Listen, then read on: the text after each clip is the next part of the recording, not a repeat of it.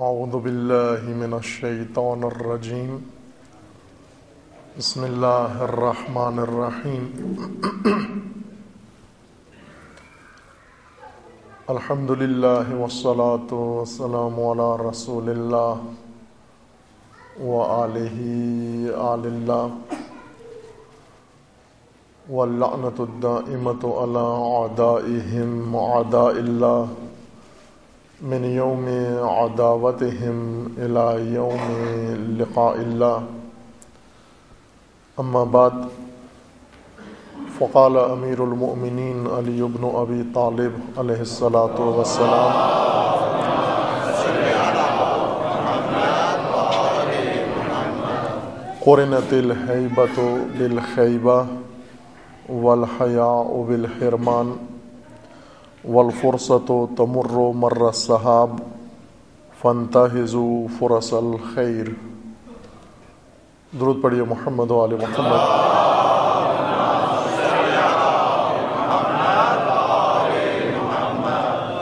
खुदावन तबारक वाली तमाम मोमिन को अपने सामान महफूज फरमाए तमाम मोमिन की हिफ्ज़ सलामती के लिए सलवात पढ़िए मोहम्मद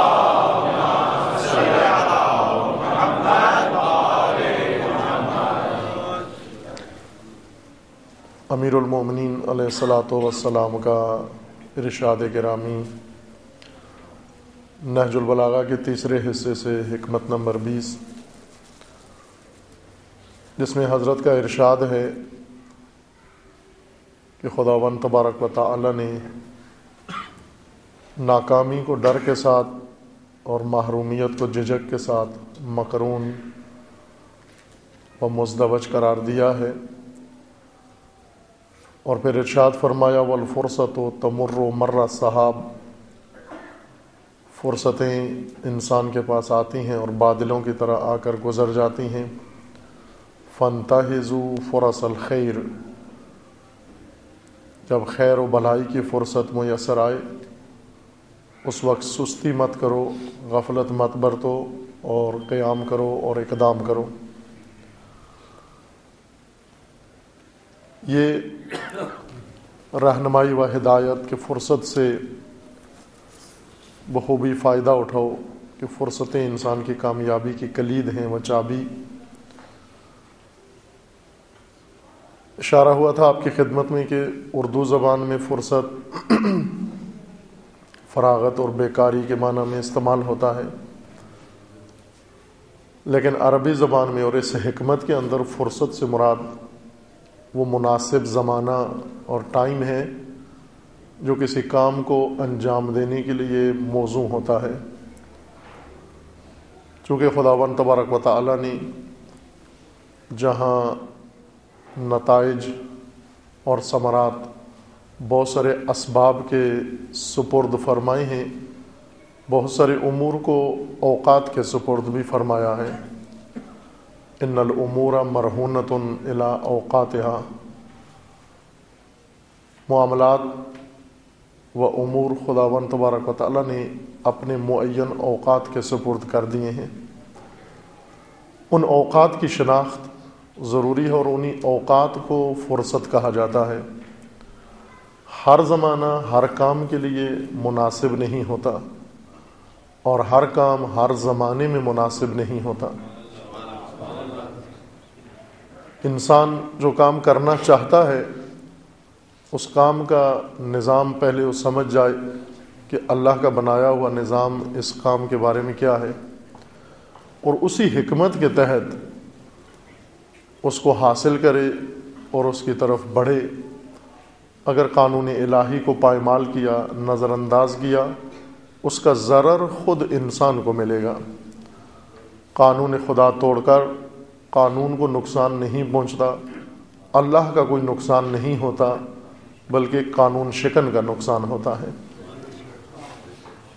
खुदावन तबारक व ताली ने तशरी कवानीन बनाए हैं और तकवीनी कवानीन बनाए हैं। तकवीनी कवानीन वो हैं जिनके तहत कायनात चल रही है सारी, और तशरी कवानीन वो हैं जो इंसान के लिए मुकर किए हैं। तकवीन के तहत कायनात चलती है और तशरी के तहत इंसान चलता है। फ़र्क यह है कि तकवीन को खुदा ने खल किया इरादा नहीं दिया, कानून बनाया और उस कानून के अंदर उनको जबरन रहना है। लिहाजा ये बाज़ बुज़ुर्गान के बकौल, अहल मार्फत के बकौल कि तमाम कायनात और हर ज़र्रा कायनात मुती खुदा है फरमन बरदार खुदा है। ज़रा बराबर कानून इलाही से रूगरदानी नहीं करता और न कर सकता है। नाफरमानी व इसियान व मासीत तशरी के अंदर है कि जहाँ पर बाख्तियार मखलूक के सामने खुदावन तबारक ताली अपना निज़ाम बना के पेश कर दे और उस बाख्तियार मखलूक ने उसे अपने इख्तियार से अपनाना है। वहाँ पर मासीत व नाफरमानी का सवाल उठता है और मौका फराहम होता है। लिहाजा जो कुछ खुदावन तबारक वाली ने तशरी में निज़ाम बनाया है, तमाम उमूर को अपने इसबाब के हवाले कर दिया है। कायनात इसबाब के निज़ाम के मुताबिक है। और निज़ाम इंसानी जो तशरी का निज़ाम है, ये भी इसबाब के हवाले खुदा ने कर दिया है। वो इसबाब अल्लाह ने ही मुकर किए हैं। आज बाज तोहीद के नाम पर कानून इलाही को ज़रूरत पड़ी है मोहम्मद वाले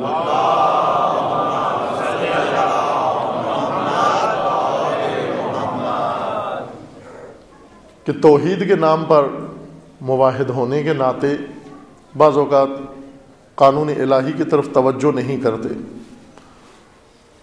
बुज़ुर्ग हकीम व फ़लसूफ़ इलाही व सदरमतलहीन जो मुला सदरा के नाम से जाने जाते हैं। अलबत् इल्मी हलकों के अंदर ना अवामी हलकों के अंदर बहुत अजीम शख्सियत हैं मुला सदरा। आप ये कहें कि इंसानी फ़िक्र मासूमिन से हट कर की बात कर रहा हूँ, जो शागिर्दा ने अम्बिया व आइम्मा हैं इंसानी फ़िक्र जितने औज पे जा सकती थी, आज तक गई है इरतका करके, वो आखिरी नुक्ता औज फ़िक्र बशरी का अगर मुतन किया जाए तो उसका नाम मुला सदरा बनता है।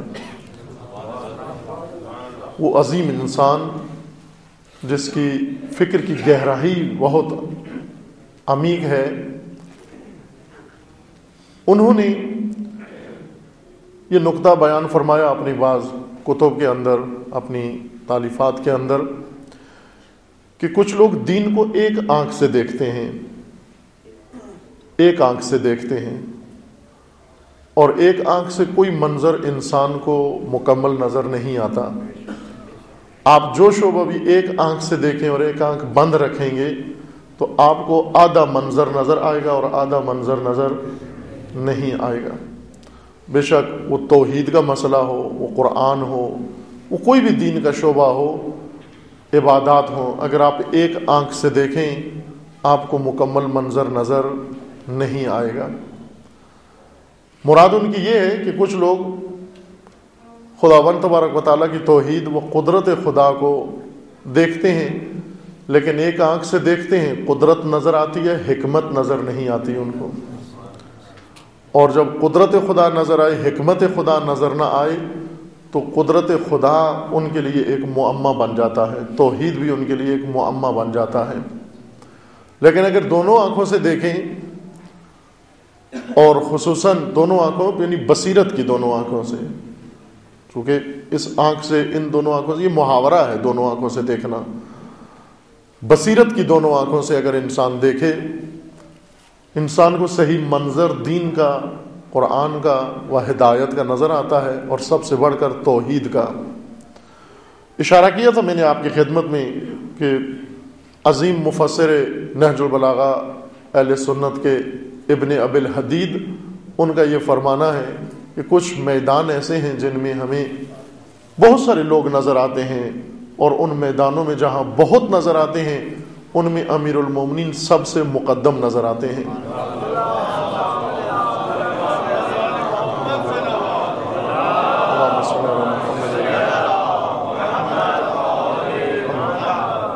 चूँकि हर एक इंसान अपनी तीन हदिया अकीदत पेश करता है, जितनी उसकी खुद अपनी सोच होती है, वह हदिया अकीदत पेश करता है। उन्होंने इस तरह से अमीरमिन की बारगाह में एहतराम पेश किया, अपना ताज़ीम व तकरीम पेश की, कि कुछ कुछ मैदान ऐसे शुजात का मैदान है। बहुत सारे हमें शुजा नज़र आते हैं, लेकिन अली शुजाओं से बहुत आगे नज़र आते हैं। सखी, अहल सखा वजूद बहुत सारे हैं, लेकिन अमीरमिन सखावत के मैदान में दूसरों से आगे नज़र आते हैं। इस तरह और बहुत सारे ज़िंदगी के शोबे हैं, लेकिन इबन अबिल हदीद कहते हैं कि कुछ मैदान ऐसे हैं जिसमें हमें अव्वल आखिर फ़कत अली नज़र आते हैं।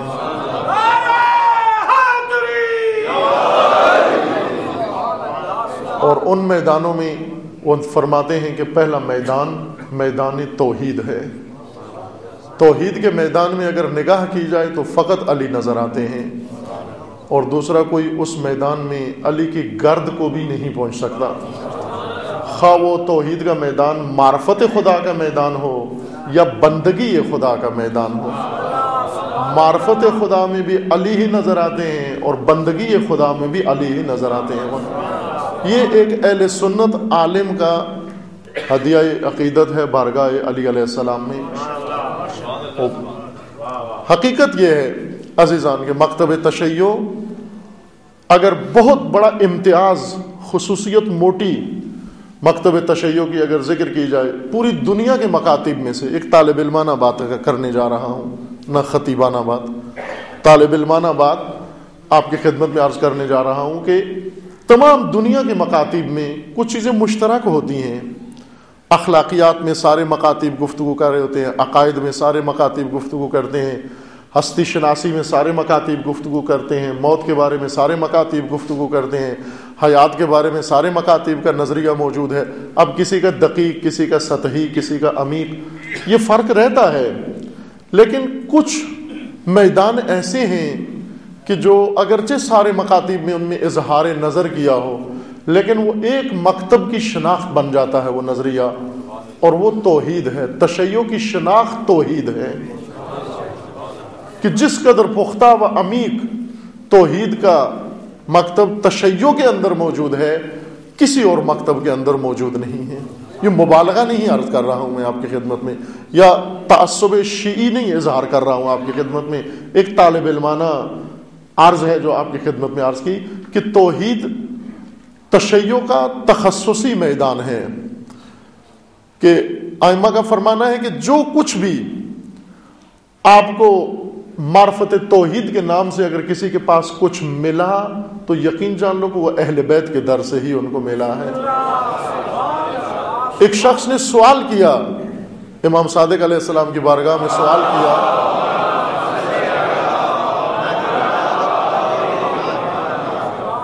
कि आपका फरमाना यह है कि जो इल्म दानाई बशर के पास मौजूद होगी, वो अहल बैत के ज़रिए से ही पहुँची होगी वहाँ पर।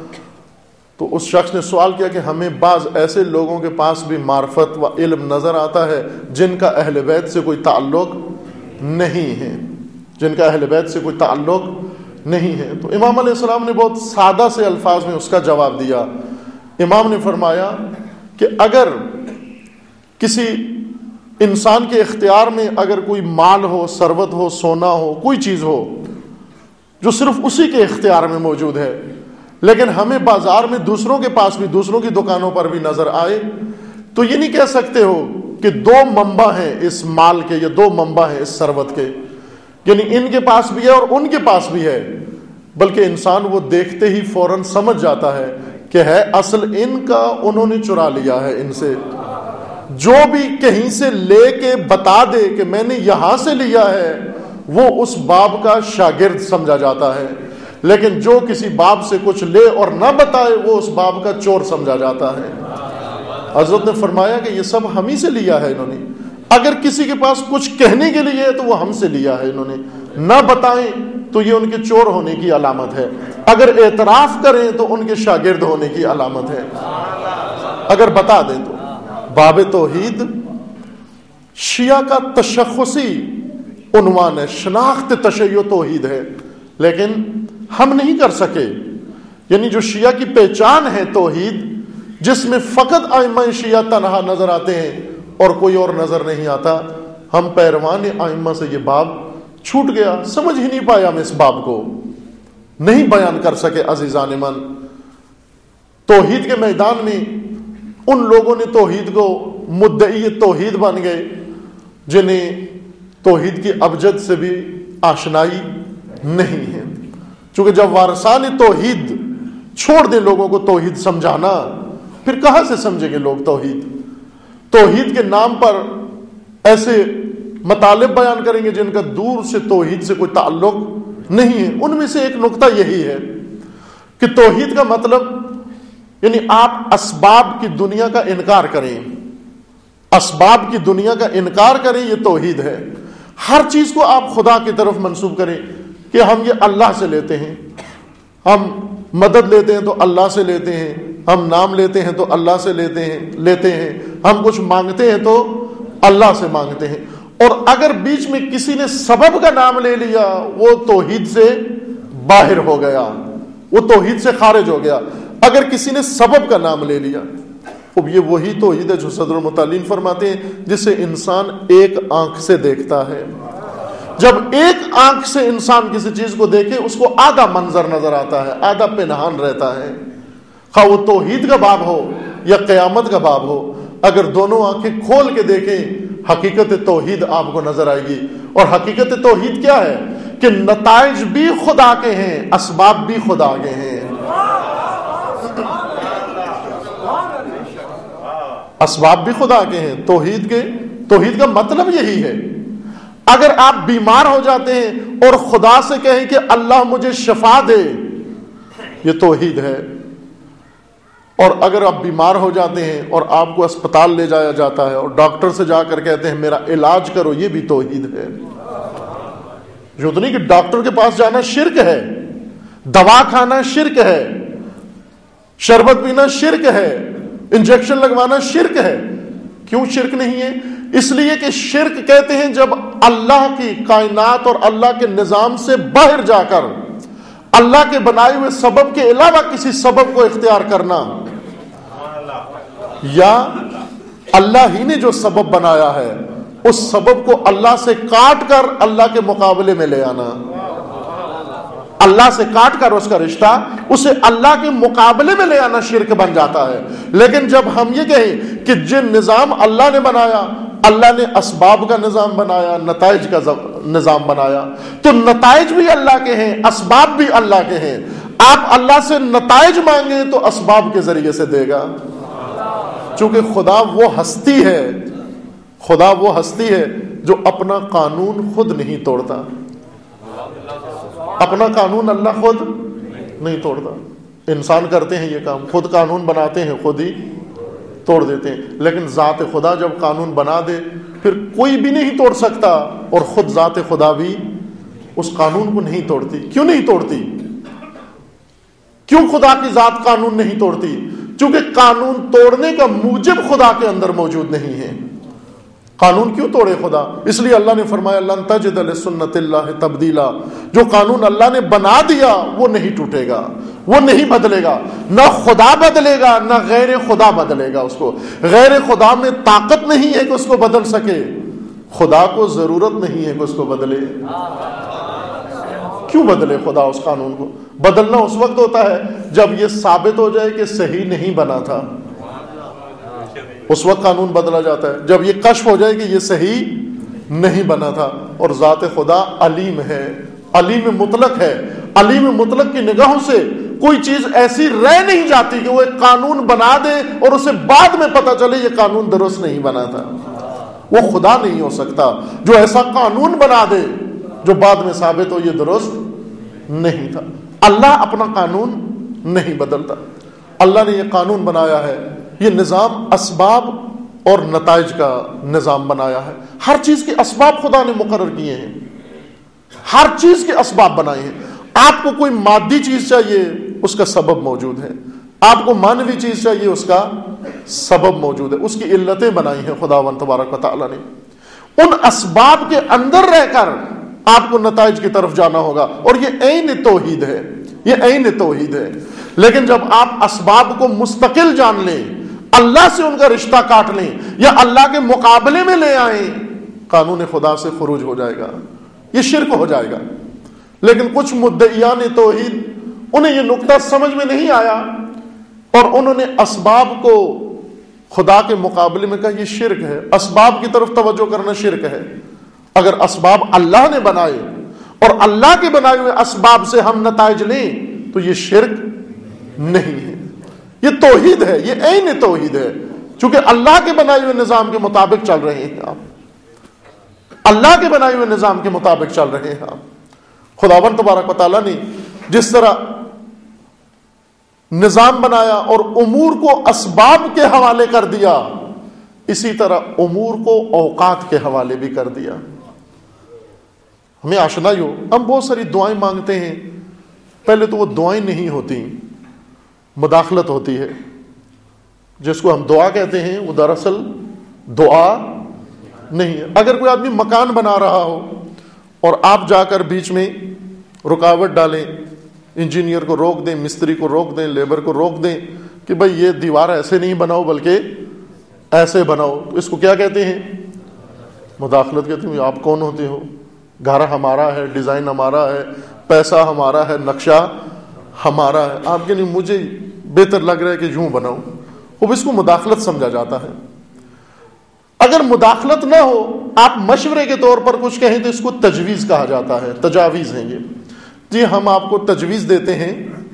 अगर तो आप खुद ही जाके उस अमले को रोक के और अपनी मर्ज़ी का काम करवाना शुरू कर दें तो इसे कहेंगे ये मुदाखलत है। अगर आप रोके नहीं, उन्हें कहें, ठीक है, आप करते रहो। मालिक को ये कहो कि, भाई, मेरी राय में ये बेहतर है कि इस दीवार को इस तरह बनाओ, ये पिलर इस तरह बनाओ, ये बीम इस तरह बनाओ, ये खिड़की दरवाज़ा इस तरह लगाओ। ये तजावीज़ हो जाती हैं। ये तजावीज़ हैं। तजावीज़ ज़रूरी होती हैं बाज़ात खसूस उन लोगों के लिए जो खुद सही किसी नतीजे पे ना पहुँचे हों, इतनी इल्म दानिश न रखते हों, दूसरों की तजावीज़ लेकर अपना नज़रिया मुकम्मल कर लेते हैं, अपना मंसूबा मुकम्मल कर लेते हैं। तजावीज़ उनके काम आती हैं। लेकिन दुआ न तजवीज़ है, न मशवरा है और न मुदाखलत है। दुआ दुआ है। हम उमूमन खुदा की बारगाह में या तो मुदाखलत चाहते हैं या तजावीज़ दे रहे होते हैं अल्लाह ताला को। दुआ नहीं करते, बल्कि तजावीज देते हैं कि अः अल्लाह, इसको इस तरह बना देता है इसको इस तरह से बना दे, इसको इस तरह से कर दे, इसको इस तरह से कर दे। खुदा ने फरमाया, मुझसे दुआ मांगो, तजावीज ना दो। मैं अल्लाह हूँ, तुम मखलूक बंदे हो। बंदे को दुआ का हक मिलता है, तजवीज का हक नहीं मिलता। तजावीज ना दो अल्लाह को। हम तजावीज देते हैं, अल्लाह को तजावीज देते हैं। दुआ मांगो खुदा मन तबारक से। दुआ किस तरह से मांगो? जब आप कानून खुदा, निज़ाम इलाही को समझते हैं और उस निज़ाम इलाही के अंदर रहकर अगर खुदा से कुछ तलब करते हैं यह दुआ कहलाती है। जब निज़ाम इलाही के मुताबिक आप कुछ खुदा से मांगते हैं, इसको दुआ कहते हैं। लेकिन जब आप उस कानून में तब्दीली के खाहा होते हैं। इसको तजवीज कहते हैं, ये दुआ नहीं है। और अगर आप खुदा से न चाहोगे ये निज़ाम बदले, बल्कि खुद चाहते हो, खुद उठ के उस निज़ाम को बदलो, इसको मुदाखलत कहते हैं। ये मुदाखलत है निज़ाम खुदा के अंदर। अगर खुद से इकदाम कर दिया कि मैं बेहतर यूँ समझता हूँ, ये मुदाखलत दर निज़ाम खुदा है। अगर आपने अल्लाह को कहा कि परवरदिगार, इस तरह से बना दे, ये बेहतर है, ये तजवीज है खुदा को, कि अपना कानून बदल दे।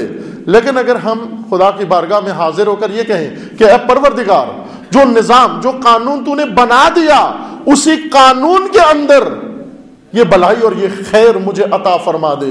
ये दुआ है, जिसको खुद खुदा ने हुक्म दिया, उदऊनी अस्तजिब लकुम, तुम मुझे पुकारो, मैं तुम्हारा जवाब दूँगा। हमारे उस्ताद बुजुर्गवार हैं। खुदा उनको सेहत सलामती अता फरमाए। वो ये फरमाया करते थे कि जिस तरह अल्लाह ने आपको इम्तहानों में डाल दिया है, इम्तहान में लिया डाला, दुनियादार इम्तहान है। अल्लाह ने आपको आजमाइशों में और इम्तहानों में डाल दिया, आजमा रहा है खुदा आपको। वो ये फरमाते थे कि आप भी अल्लाह को आजमाओ। आप भी आजमाओ। क्या आजमाओ? वो जितने वादे खुदा ने दिए हैं, उन सबको चेक करो कि आया खुदा वादे पूरे करता है या नहीं करता। आजमा के देखो, क्योंकि अल्लाह का वादा है कि सादिकुल वाद है, फरमाना है खुदा का। खुदा से बढ़कर वादा सच्चा करने वाली कोई जात आजमा के देखो, तजुर्बा करके देखो। एक दफ़ा अल्लाह के वादों को आजमाओ, तजुर्बा करो। खुदा ने वादा दिया, तुम मुझे बुलाओ, मैं तुम्हें जवाब दूँगा। तो इसी को आजमा के देखो। जरा अल्लाह को बुला के देखो, जवाब देता है या नहीं देता। वो बाज कहेंगे हमें तो बहुत बुलाया, जवाब नहीं देता। ना, फिर वो बुलाया नहीं है, या मुदाखलत की है, या तजवीज़ दी है। अगर बुलाया है, वो जवाब देगा। अगर पुकारा है तो जवाब देगा। लेकिन अगर तजवीज़ दी है तो फिर जवाब नहीं देगा। अगर मुदाखलत की है तो जवाब नहीं देगा। अगर बुलाया है तो जवाब देगा। एक किस्सा मौलाना रूम ने ज़िक्र किया मसनवी में कि एक जाहिद मुत्तकी इंसान परहेजगार, जिसको अल्लाह ने बड़ी तोफीक दी थी, रातों को उठ उठ के बारगाह खुदा में इबादत करता और मुनाजात करता, दुआएँ माँगता, या अल्लाह या अल्लाह कहता, चालीस साल तक मुसलसल बारगाह खुदा में इबादत और दुआ और मुनाजात करता रहा। पूरी पूरी रात जागकर, रो रो के गिड़गिड़ा गिड़गिड़ा कर। एक दिन शैतान उसके पास आया और उसने आकर उसको उकसाया कि बंदा खुदा, तू जो इतना आशे के खुदा है, तू जो इतना आबद खुदा है, चालीस साल से रो रो के हर जबान से तूने अल्लाह को पुकारा। तूने या अल्लाह किया हर तरह से तूने पुकारा। एक दफ़ा जवाब भी आया तुझे इस या अल्लाह का? इसने गौर करना शुरू कर दिया कि बात तो सही है, मैं चालीस साल से या अल्लाह या अल्लाह कर रहा हूँ। एक दफ़ा भी मुझे जवाब नहीं आया। इसी वसवसे ने उसको सुस्त कर दिया। गाफिल हो गया और आहिस्ता आहिस्ता उसका या अल्लाह कम हो गया। इबादत कम होगी दुआ कम होगी ज़िक्र कम हो गया, रोना कम हो गया। अब सो जाता रात को। और ऐसा ऐसा बायस बने कि वो फ़राइज भी अपने छोड़ दिए। सिर्फ़ इस वसवसे के वजह से कि मुझे तो जवाब नहीं मिला आज तक। एक दिन उसको मुतवजह किया गया। अब बकौल मौलाना रूम के जनाब खिजर ने उसको खिताब किया, आलम ख्वाब में खिताब किया। कि बंदा खुदा। तू पहले रात को उठता था, नमाज़ पढ़ता था, इबादत करता था, मुनाजात करता था, या रब कहता था, या अल्लाह कहता था। तो आजकल सो जाता है खा पी के। तू उठता नहीं, इबादत नहीं करता, सजदा नहीं करता, गिड़गिड़ाता नहीं, रोता नहीं। कहने लगा, क्या फ़ायदा? चालीस साल मैंने या अल्लाह या अल्लाह कहा। एक दफ़ा भी जवाब नहीं आया। अल्लाह का वादा था उदूनी अस्तजिब लकुम। मुझे पुकारो, मैं तुम्हारी पुकार का जवाब दूँगा। मैंने चालीस साल हर जबान से पुकारा, एक दफ़ा भी मुझे जवाब नहीं आया। उसको मुतवजह किया। मुतवजह किया गया कि ए नादान, तू यार रब तो कहता था, दुआ शनास तो था, जवाब शनास नहीं था। जवाब आ गया, तूने सुना नहीं। तू गाफिल था, तूने जवाब को सुना नहीं। जवाब कैसे आया? कहा यह बता कि वो सोच जो तेरे दिल में उठता था कि मैं खुदा की बारगाह में जाकर या रब कहूँ, वो दिल तेरे, दिल दिल के अंदर वो सोच कौन पैदा करता था? वो तड़प कौन पैदा करता था? वो दर्द कौन पैदा करता था? वो ख्वाहिश कौन पैदा करता था? वही तो जवाब खुदा था। ए नादान, इससे पहले कि तू या रब कहे, रब ने पहले तुझे जवाब दे दिया। रब बनाता है तुझे।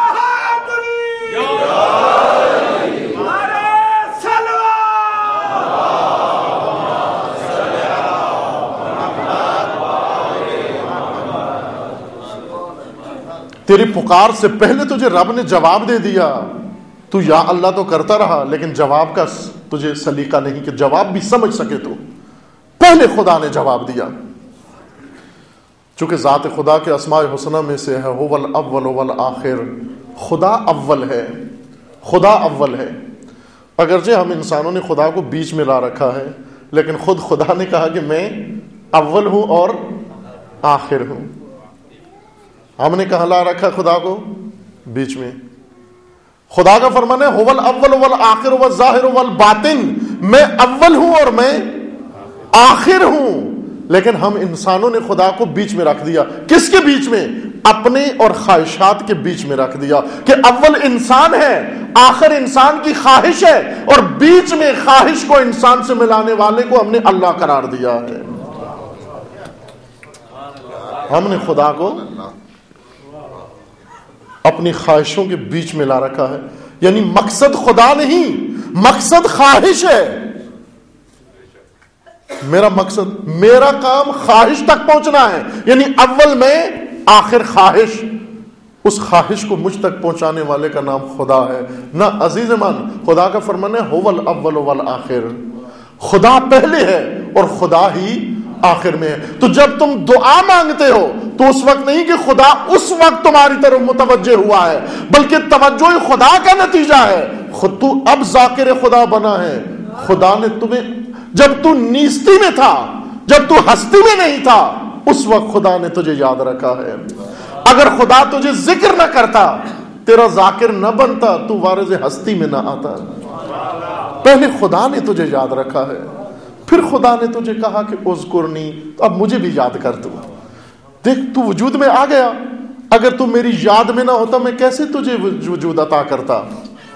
अगर मैं तुझे याद ना रखता, तू मेरी याद में ना होता, तू वजूद में कैसे आता? अगर तू मेरे इल्म में ना होता, तू अगर मेरी मशीयत में ना होता, तू अगर मेरे इरादों में ना आता, तू अगर मेरी हिकमतों में ना आता, तू मारज हस्ती में कदम कैसे रखता? बस मैंने पहले तेरी तरफ़ तवज्जो की है। पहले मैंने तेरी तरफ़ तवज्जो की है। अब तुझसे कह रहा हूँ कि तू भी वक्त निकाल के मेरी तरफ़ तवज्जो कर ले। अज़ीज़ मन अगर निज़ाम अल्लाह को समझ के हम खुदा से कुछ मांगे, ये दुआ है। खूब निज़ाम खुदा क्या है? अल्लाह का फरमान है कि मैंने इस नतज को इसबाब के सुपुर्द कर दिया है। और इन्हीं नतज को इसबाब के हवाले करके इसबाब और नतज दोनों को औकात के सुपुर्द कर दिया है। इन उमूर मरहूनत इला औकात जिस तरह अल उमूर मरहूनत इला इसबाब हर चीज़ अल्लाह ने इसबाब के सुपुर्द कर दी है। अगर अल्लाह से मांगो तो भी अल्लाह उन्हीं इसबाब के ज़रिए से आपको पहुंचाएगा। आप अल्लाह से शफा मांगो। खुदा ने शफा का अहतमाम कर दिया। क्या करेगा खुदा शफा का अहतमाम शफाए खुदा का अहतमाम ये नहीं होता। बस कहते ना जी, आपको डॉक्टर से शफा मिली, मुझे अल्लाह से शफा मिली। ये शिरक है। जिसको डॉक्टर से शफा मिली, उसे भी अल्लाह ने शफा दी। जिसे दुआ से शफा मिली उससे भी अल्लाह ने शफा दी। जिसे तवसल से शफा मिली, उसने भी अल्लाह से शफा ली अल्लाह बात यहाँ तक पहुंचाई। नीयत में नहीं थी ये बात करूँ, लेकिन जब यहाँ पहुंचाई शायद आपकी किस्मत थी, आपकी खिदमत में अर्ज़ कर देता हूँ। अल्लाह के इसबाब दो तरह के हैं, अजीजान। इसबाब खुदा ने दो तरह के बनाए हैं। इसबाब ज़ाहरिया और इसबाब खफिया, या इसबाब जलिया और इसबाब खफिया। इसबाब के हवाले नतज कर दिए हैं। पूरा निज़ाम इंसानी, निज़ाम बशरी, निज़ाम कायनात इसबाब के सुपुर्द है। इसबाब कुछ जली हैं, जली से मुराद, यानी वो इसबाब जो इंसान के इल्म में लाए गए हैं। इंसान को बता दिया गया कि ये ये इसबाब हैं इन नतज के लिए। और इंसान से चाहा गया, हुक्म दिया गया कि तू अगर इन नतज तक पहुँचना चाहता है, इन इसबाब के ज़रिए से तुझे पहुँचना है। इन असबाब को कहा जाता है इसबाब ज़ाहरिया या इसबाब जलिया। वाज नुमाया इसबाब कुछ असबाब खफिया हैं वो इसबाब जो खुदावन तबारक वाली ने इंसान को नहीं बताए लेकिन इन उमूर के हैं वो इसबाब वो अस, वो इसबाब फ़कत इल्म इलाही में है। फ़कत इल्म इलाही में है। इंसान को कहा गया कि तू इसबाब ज़ाहरिया वो इसबाब जलिया का सहारा ले। लेकिन ये जहन में रखना कि सारा नतीजा इन इसबाब के सुपुर्द नहीं है। नतीजा मुकम्मल दो किस्म के इसबाब के सुपुर्द है। इसबाब जलिया के जो तुझे पता है और जो तूने इंतखाब करने हैं और तूने अंजाम देने हैं। और वो इसबाब जिनका तुझे इल्म भी नहीं है और वो फकत इल्म खुदा में है। वो भी इस नतीजे के अंदर मुआसर है। तेरा काम असबाब जलिया इख्तियार करना है।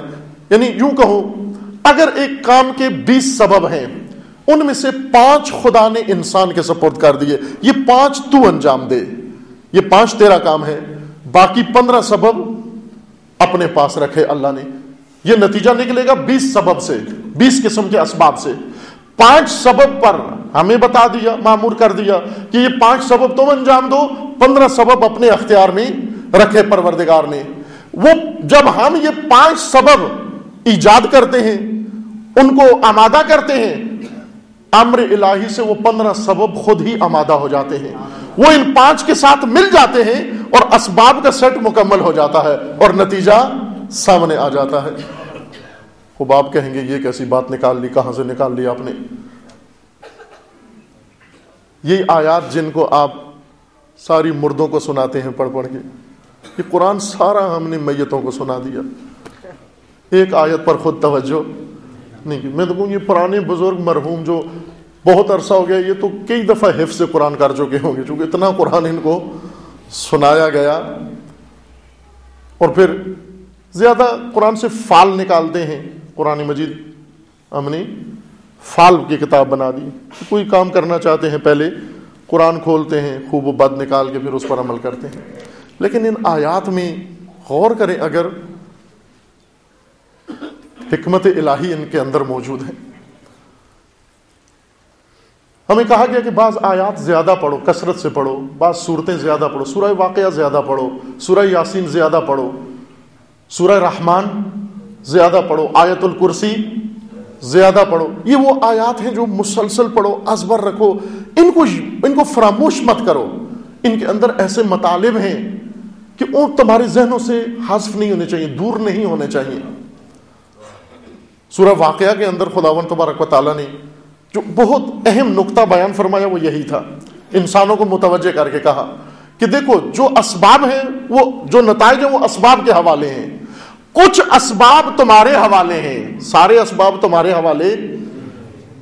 इन दोनों बातों को जहन में रखिएगा। मैं अपनी तशफी के लिए बात चीज़ें तकरार करता हूँ, ना आपकी खातिर। कि मुझे तसली हो जाए कि मैंने बात पूरी कर दी बसाओ का शक होने लगता है कि पूरी बात की है या नहीं, कि आप पर तो गुमान भी नहीं गुजर सकता कि पूरी समझी है या नहीं समझी। वो तो माशाल्लाह मोमिन साहिब फरासत हैं, समझ जाते हैं। अल्लाह ताला का फरमाना है कि मैंने नतज असबाब के हवाले किए हैं। असबाब सारे तुम्हारे हवाले नहीं किए, कुछ असबाब तुम्हारे हवाले कर दिए। कुछ असबाब तुम्हारे हवाले कर दिए, लेकिन बाकी असबाब मेरे पास हैं। क्या फरमाया अल्लाह ताला ने? अफर तुम मा तुम नून अन तुम तखलकून अम नखनुल खालिकून? कि जब बच्चा पैदा होता है, बच्चे की पैदाइश असबाब के ज़रिए से होती है, इसमें माँ बाप खालिक है बच्चे के, या अल्लाह खालिक है बच्चे का? फरमाया माँ बाप का काम क्या है? माँ बाप का काम, बच्चे की विलादत के फकत चंद इब्तदाई असबाब फराहम करना है। बाकी सारे असबाब अल्लाह अंजाम देता है।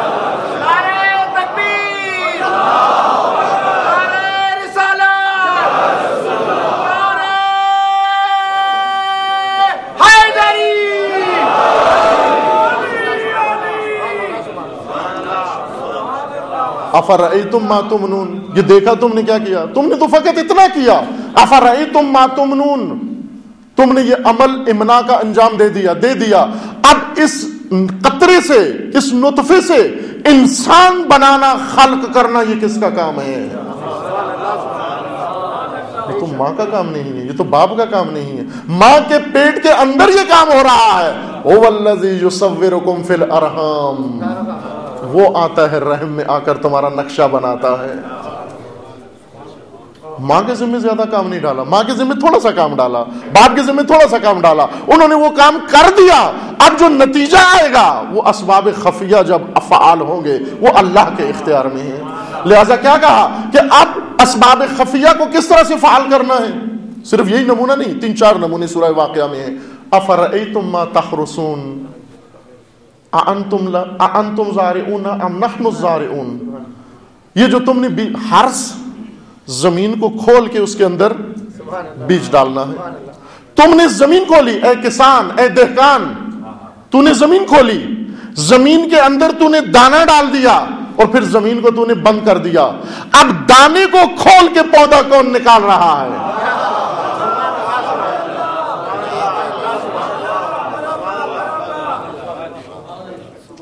अफरई तुम माताहरसून अन तुम तजरऊन अम नहनु हारिस तुम हो जारे कौन है इमना तुम्हारा है खालिक कौन है वो जो असबाब खफिया अल्लाह के इख्तियार में है ये ना कहो कि असबाब जाहरिया पर मैंने अमल कर लिया अब मुझे दुआ की ज़रूरत नहीं है दुआ कहाँ से शुरू होती है दुआ कहाँ से शुरू होती है दुआ शुरू होती है कि वो जो पाँच सबब तेरे सुपुर थे, तू उनको अहसन तरीके से अंजाम दे। जब वो मुकम्मल अंजाम दे, फिर खुदा की बारगाह में दुआ के लिए बैठ जा कि परवरदिगार, ये चंद सबब जो मेरे हवाले थे, मैंने वो अंजाम दे दिए। तेरे हुक्म के मुताबिक अंजाम दे दिए। अब वो ज़्यादा सबब और अहम सबब जो तेरे इख्तियार में है, मैं तुझसे तकाजा करता हूँ, उन्हें भी तू फाल करार दे मोहम्मद वाले मोहम्मद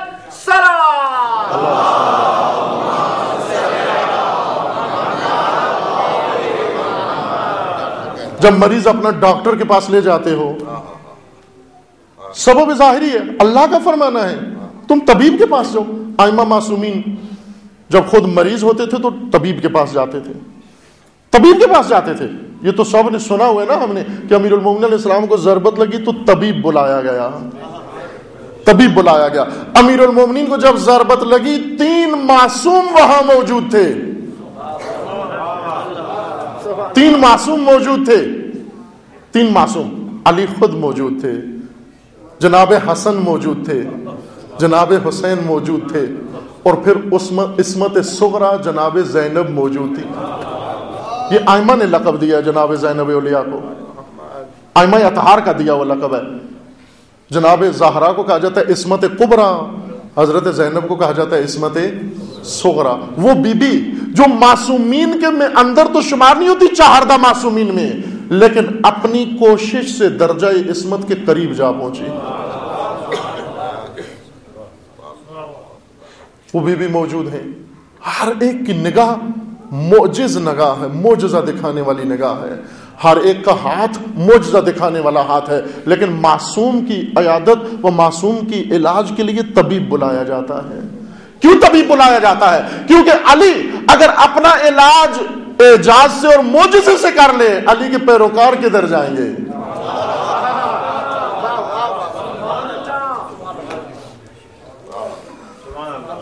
इसलिए कहा, तबीब आकर इलाज करे। तबीब की तरफ़ जाना शिरक नहीं है। दवा खाना शिरक नहीं है, असबाब की तरफ़ जाना है आपने। लेकिन अजीजान, जिस तरह खुदा ने नतज असबाब के सपोर्ट किए और असबाब इंसान के सपोर्ट किए, इसी तरह खुदा वन तबारक वाली ने इन नतज और इसबाब दोनों को मिलाकर औकात के सुपुर्द कर दिया। औकात के सुपुर्द कर दिया। देखिए, अल्लाह ने हमें ज़मीन पे पैदा किया।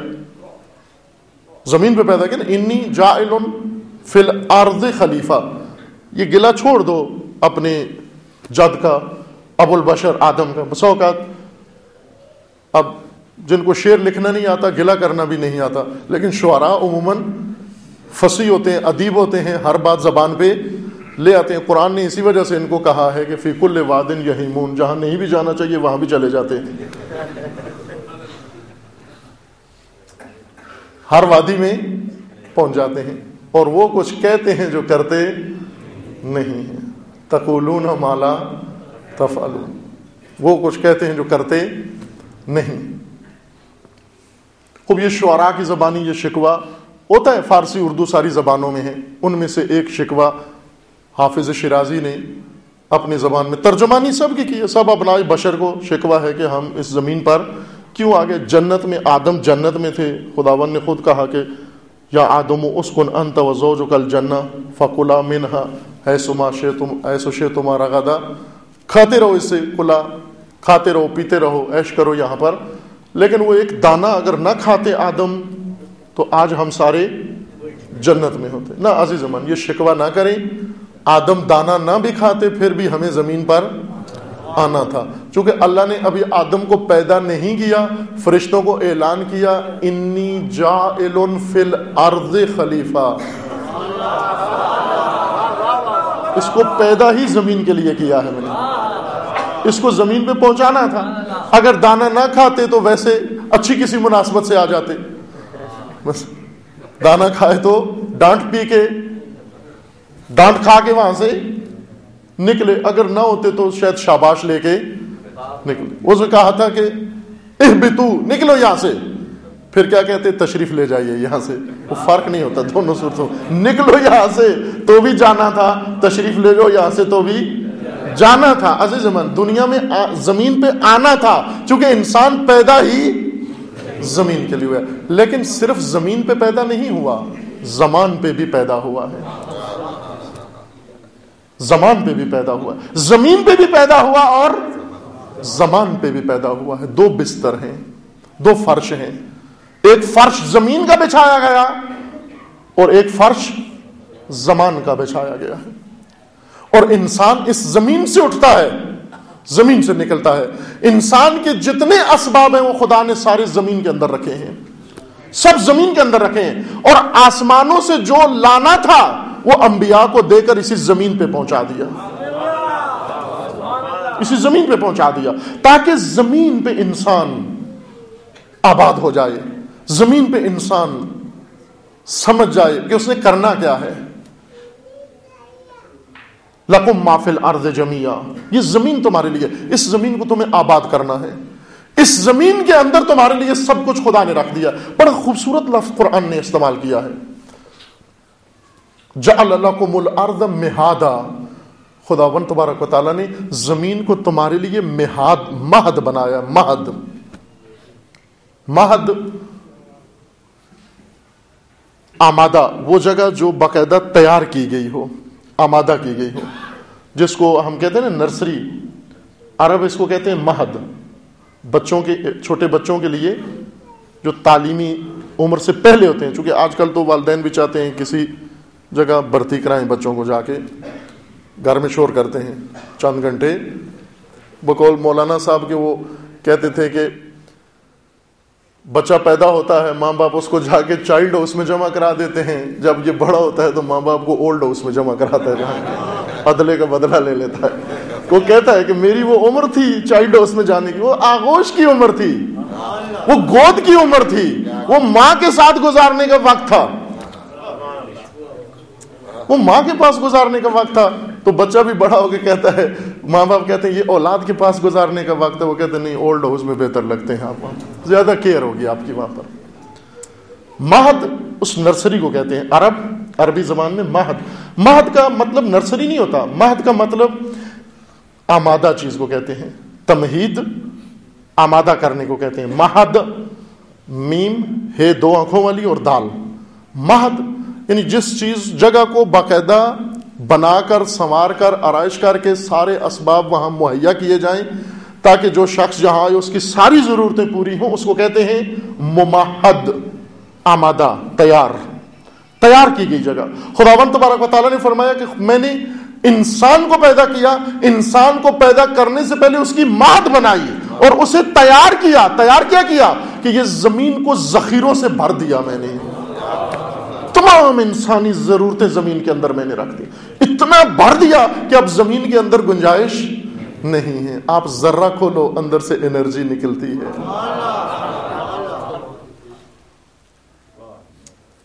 जरा खोलो, देखो अंदर से क्या निकलता है। सब इंसान की ज़रूरत। सब इंसान की जरूरतों से भर दिया। ज़मीन का ज़ाहिर भर दिया, ज़मीन का बातिन भर दिया।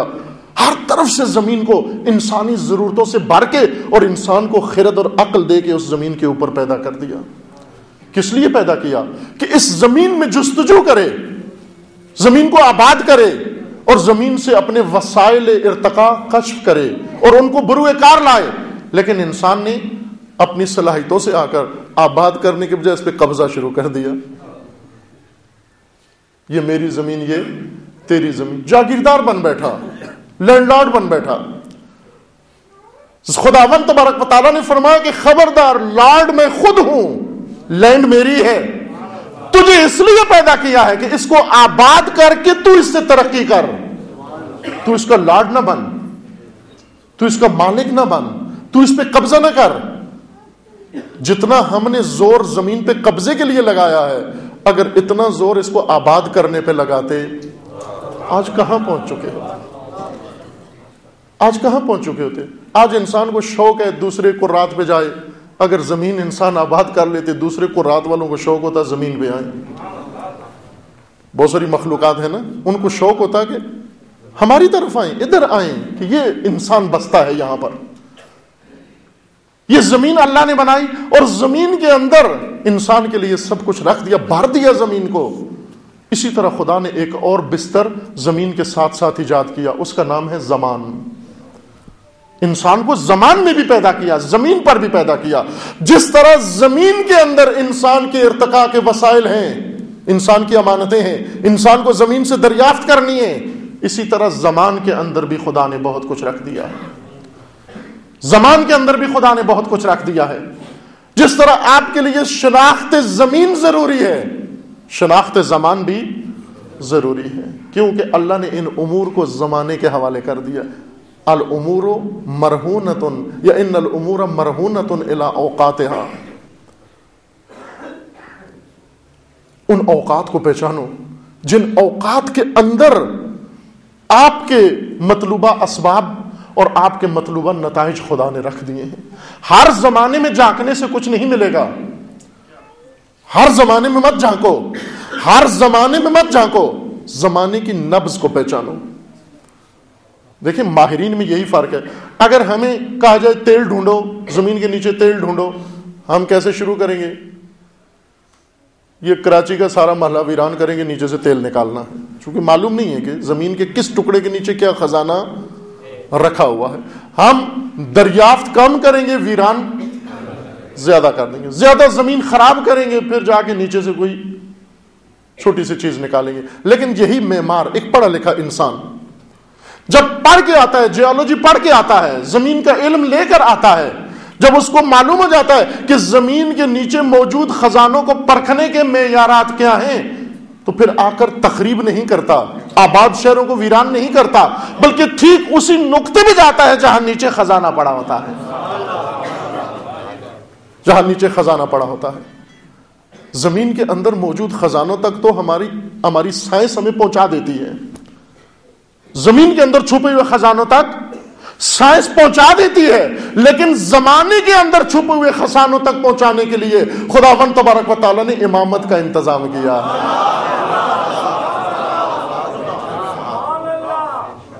कि जमाने के अंदर छुपे हुए खजाने तुम्हारे मौजूद हैं। उन जमानों से दरियाफ्त करो अपना हक। वो मुन जमाने हैं और वो जमाने गर्दिश में हैं। देखिए, मैंने पहले भी अर्ज़ किया था कि दौलत तदावल से है। घूमने को कहते हैं। दौल घूमने को कहते हैं। घूमते रहना। जो चीज़ रुक जाए, वो दौलत नहीं होती। जो घूमती रहे, वो वो पैसा जो किसी ने जमा करके अपने घर में, पुराने जमाने में, मटके में डाल के रखा होता था ज़मीन के नीचे, आजकल बैंकों में रख देते ये दौलत नहीं है। जो एक जगह रोक लिया आपने, ये दौलत नहीं है। दौलत वो पैसा है जो घूम रहा है। आपका पैसा है, आपकी मिल्कियत से निकलता नहीं, लेकिन घूम रहा है। घूम रहा है, घूमते हुए जिस तरह आपके लिए मुनाफा लेकर आता है, दूसरों के लिए रिस्क लेकर आता है। वो दौलत है, वो पैसा दौलत है जिससे आपने इंडस्ट्री लगा दी। इंडस्ट्री में अगर सौ लेबर काम कर रहा है, सौ खानदानों को आपके माल से रिस्क मिल रहा है। ये पैसा दौलत है। आपने तजारत शुरू की। तजारत करके माल इंपोर्ट किया एक्सपोर्ट किया। आपकी तजारत से लोगों की जरूरतें पूरी हो रही हैं। पैसा आपका है, नफा आपकी जेब में आता है, लेकिन आपके माल की गर्दिश से सारे मुआशरे को रिस्क मिल रहा है। लेकिन अगर रोक लोगे इसको, अपनी भी तबाही, पैसे की भी तबाही, मुआशरे की भी तबाही। रोको मत। गर्दिश में डालो इसको। खुदावन तबारक ने फरमाया, ये अयाम गर्दिश में है। तिलकल अयाम नुदाविल बैन अन्नास अयाम गर्दिश में है। ज़मीन गर्दिश में। कोई चीज़ रुकी हुई नहीं है। गर्दिश में है, घूम रही है। और घूमते घूमते हर एक तक बारी आती है। क्यों खुदा ने गर्दिश में रख दिया सबको? जमाने को गर्दिश में रखा? क्योंकि जमाना घूमते घूमते हर एक तक बारी आना ज़रूरी है। हर एक तक बारी आना ज़रूरी है। बहुत सारी चीज़ें हैं जिनके पीछे हमें कहा गया कि तुम हरकत करो, वहाँ पहुंचो। लेकिन जमाने को यह कहा गया कि तुम घूम के हरकत करके इंसान तक पहुंचो। हमें नहीं है ज़रूरत जमाने तक पहुँचने की, जमाना हम तक आएगा। ये जमाना घूम कर हमारे पास आता है। जब जमाना आपके पास आता है, आपके पास फुर्सतें लेकर आता है। फुर्सत अरब उस बारी को कहते हैं जो पानी की तकसीम के लिए मुकर की जाती है। पानी जिन इलाकों में कम होता है, आजकल मिसाल मौजूद है, पाकिस्तान में अर्ज़ किया कि मुश्किल नहीं है इस मतलब को समझना। अतः जिनकी जमीनें नहीं है, उन्हें भी मालूम है।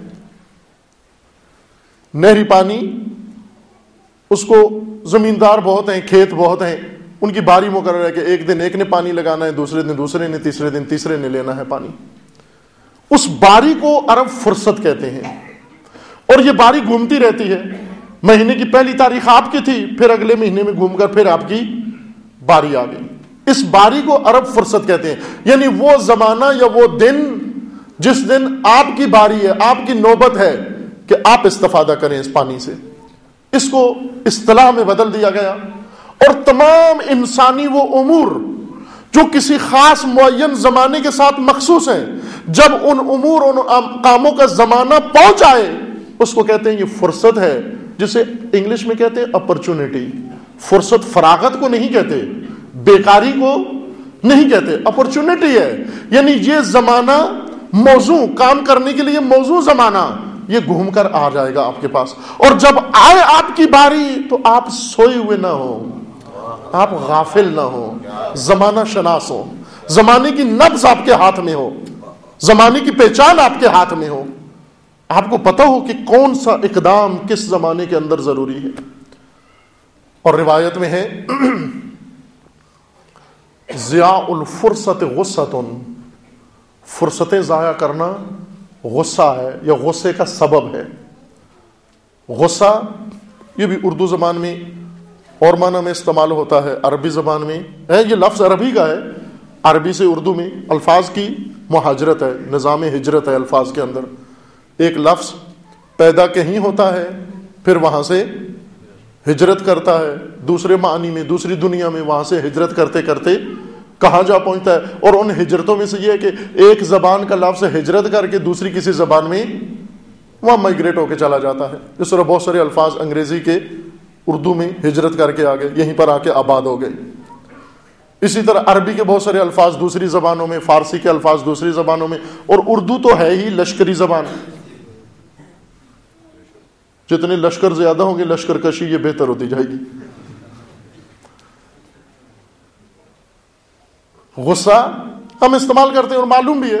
अगरचे बहुत वाजे बातें एक दानश्वर का कहना है, दानश्वर मारूफ दानश्वर है शायद पढ़ा हो गया आपने उनकी किताबें अगोस्ट सेंट अगोस्टिन। उनका यह कहना है कि अगर मुझसे कोई ना पूछे किसी मौजू के बारे में तो वो मौजू बहुत आसान मुझे लगता है, जिसके बारे में कोई मुझसे सवाल ना करे। लेकिन अगर उसी के बारे में कोई मुझसे सवाल कर ले तो वो सबसे मुश्किल मौजू मेरे लिए बन जाता है। जब तक सवाल ना करे तो बहुत आसान है। अगर पूछ बैठे तो बहुत मुश्किल है। सादा चीज़ें इस तरह से होती हैं। सादा चीज़ों के बारे में अगर कोई ना पूछे तो बहुत सादा है। उसी वक्त तक सादा है जब उनके बारे में सवाल ना किया जाए। लेकिन अगर सवाल कर दें तो बहुत मुश्किल है। मसुम मैं अगर पूछूँ कि गुस्सा क्या होता है ये सादा सी चीज़। अभी भी बहुत सारे इस हालत में होंगे शायद गुस्से के आलम में मौलाना कब उतरेंगे।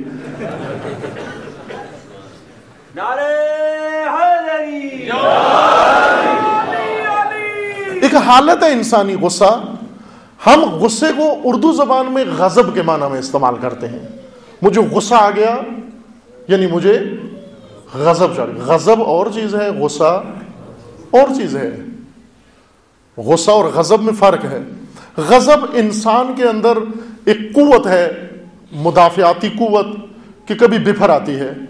वो कुवत जो हर चीज़ को, उसका काम है दफ करना, दुत्कारना, पीछे धकेलना। धकेलने वाली कुवत। ये गजब की कुवत। इसको कहते हैं गजब की कुवत। इश्तहा के मुकाबले में इश्तहा जज्ब करने की कुवत है। इश्तहा का मतलब यह है कि हर वो चीज़ जो आपके काम की है, उसको आप खींचें अपनी तरफ़। और गजब का काम है, जो चीज़ काम की नहीं है, उसको दूर करें आप। मसन जब मक्खी उड़ रही होती है तो आप उसको हाथ मार देते हैं, हिला देते हैं कि मक्खी उड़ जाए। ये क्या कर रहे हैं आप? गजब का इजहार कर रहे हैं, यानी दुदकार रहे हैं। वो इसी तरह आप बहुत सारी चीज़ों को, बहुत सारे हालात को, बहुत सारे मसाइल को, या किसी रबते को आप तोड़ते हैं बरहम होकर जबान से इजहार करके इसको गजब कहते हैं। उर्दू में इसको हम गुस्सा कहते हैं। बस ये जहन में रख लिया आपने कि उर्दू का गुस्सा अरबी का गजब है। तो अरबी का गुस्सा क्या है फिर? क्योंकि गुस्सा तो अरबी का लफ्ज है। अरबी जबान में गुस्सा एक हालत है जो इंसान के ऊपर तारी होती है। फसी जबान है अरबी बाज़ात इंसान फंस जाता है। कुछ चीज़ खाते हुए या पीते हुए वो चीज़ गले में फंस जाती है। हम जो चीज़ भी फंसे उसको फंसना ही कहते हैं। जो चीज़ फंस जाए गले में, उसको फंसना ही। पानी फंस जाए तो भी फंस गया, पकौड़ा फंस गया तो भी फंस गया, लुकमा फंस गया तो भी फंस गया, आइसक्रीम फंस गई तो भी फंस गई, पान फंस गया तो भी। कोई चीज़ फंस गई, उसको एक ही लफ्ज है हमारे पास उर्दू में, फंसना। सब चीज़ों के लिए उसको इस्तेमाल करते हैं। अरब ऐसे नहीं है। फंसी जबान है, हर जो चीज़ फंसती है, उसको अलग लफ्ज से याद करते हैं। अगर पानी फंस जाए, पानी पीते हुए, होता है ना कभी कभी कभी, फंस जाता है पानी भी, रुक जाता है, गले से नीचे नहीं उतरता। जब पानी गले में फंस जाए, उसको वो और लफ्ज से याद करते हैं। हड्डी फंस जाए उसको गले में, हड्डी फंस जाए तो उसको और लफ्ज से याद करते हैं, खाना फंस जाए तो उसको और लफ्ज से याद करते हैं। ये अरबों का कानून है। अगर हड्डी फंस जाए, उसको कहते हैं शजा। नजुबलागा में खुतबा भी है। तीसरा खुतबा नजुबलागा का शक किया जिसमें हज़रत ने फरमाया कि जब वो रसुल्ला के बाद जो हालात पैदा हुए तो वो हालात मेरे लिए क्या थे? फिल ऐन कज़न व फिल हल्के शजा। कजा आँख में कांटा पड़ जाने कहते हैं, या जर्रा। आँख में कोई चीज़ पड़ जाए तो उसको अरब कजा कहते हैं। गले में हड्डी फंस जाए तो इसको शजा कहते हैं। और अगर गले में इंसान के लुकमा फंस जाए, जो फंस जाने का मतलब ये ना नीचे जाता हो ना बाहर आता हो।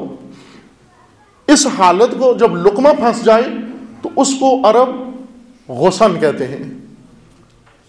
जब पानी जब फंस जाए तो उसको कहते हैं गुसन। गुस्सा ये होती है तो गला फूल जाता है, सांस रुक जाती है, और आँखें घूम जाती हैं सियाई तारी हो जाती है, कुछ नज़र नहीं आता। सारा निज़ाम दरम बरम हो जाता है, चूँकि सांस की नाली होती है फंसता भी इसी वजह से कि जब खुराक की चीज़ें सांस की नाली में चली जाए तो फंस जाती हैं वहाँ पर। इस हालत को वो गुस्सा कहते हैं। यानी नाकाबले बर्दाश्त हालत, जिस हालत में इंसान की सांस रुक जाती है और जिस हालत में इंसान की निगाहें घूम जाती हैं, इसको अरब कहते हैं गुस्सा। यानी तकलीफ़ दे हालत, सांस रुक जाती है जिसमें और मौत आँखों में सामने नज़र आना शुरू हो जाती है। इस हालत को कहते हैं गुस्सा। स्वाद के साथ गैन स्वाद इमाम सलाम फरमाते हैं कि जिया फुर्सत गुस्सतुन। फुर्सतें जाया करना, ये गुस्सा है। फुर्सतें जाया करना मुझे व सबब गुस्सा है, बायस गुस्सा है। यानी जो लोग फुर्सतें जाया करते हैं, फुर्सत जाया करके उनकी हालत वही होती है कि जिसके गले में कुछ फंस गया हो और तकलीफ़ दे नागवार तरीन हालत उसको पेश आ जाती है। जो फुर्सतें जाया करते हैं नागवारियों के लिए तैयार रहे मुश्किल के लिए तैयार रहे, मुसाइब के लिए तैयार रहें, गुस्से के लिए तैयार रहें, यानी जो फुर्सतें जाया करते हैं, उनकी हालत क्या होगी? उनकी हालत उस इंसान जैसी होगी जिसके गले में कुछ फंस गया हो, न नीचे उतरता हो, ना बाहर आ रहा हो। गौर करें, कहीं आज हमारी हालत ये हो तो नहीं गई? कहीं ऐसी हालत नज़र तो नहीं आ रही। अगर आ रही है कि न नीचे निगल सकते हैं, न बाहर उगल सकते हैं उसको।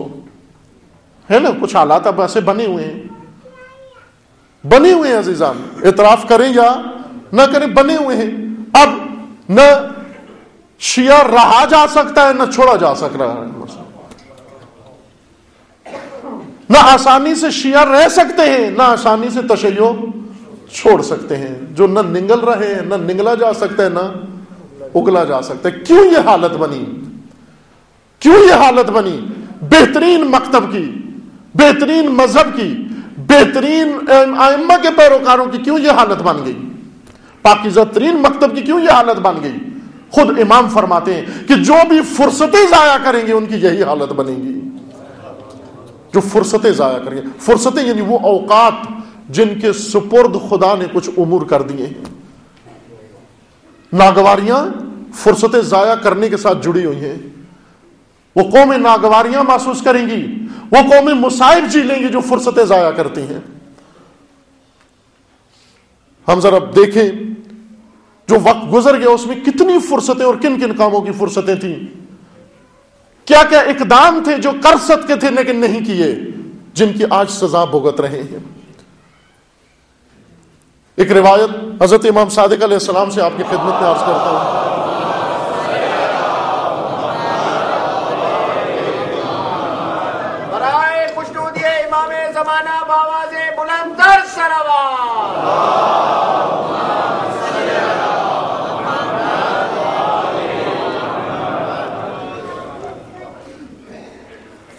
ये मुफसल रिवायत है किताब शरीफ अनवार में।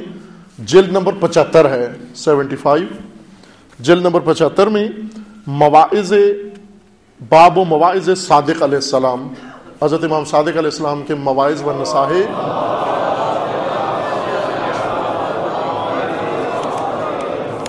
बहुत खूबसूरत है ये तमाम तमाम बाब। एकाश, फुर्सत हो, ये सारी हदीस और ये मुफसल मजमून सारा बयान किया जाए। इसमें इमाम सलाम ने तीन तीन चीज़ों का ज़िक्र किया है। यानी मवाइज हैं जो मुसलस हैं। मुसलसात को ज़िक्र किया है। मुसलसात तीन कामों का ये नतीजा, इन तीन सिफात का ये नतीजा, ये तीन जिसमें होंगी, उसका ये असर होगा, तीन। हर तीन चीज़ें मिलाकर उसको तीन तीन नतज ज़िक्र किए गए ये मुसलसात हैं। उन मुसलसात में इमाम इस्लाम फरमाते हैं तिरपन नंबर में। फरमाते हैं, सलासतन तो अकब मकरूहा।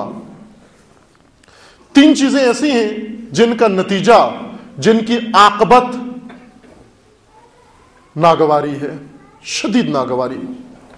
तीन चीज़ें ऐसी हैं, जो इंसान वो मुरतकब होगा, वो नागवारियों का इंतज़ार करे।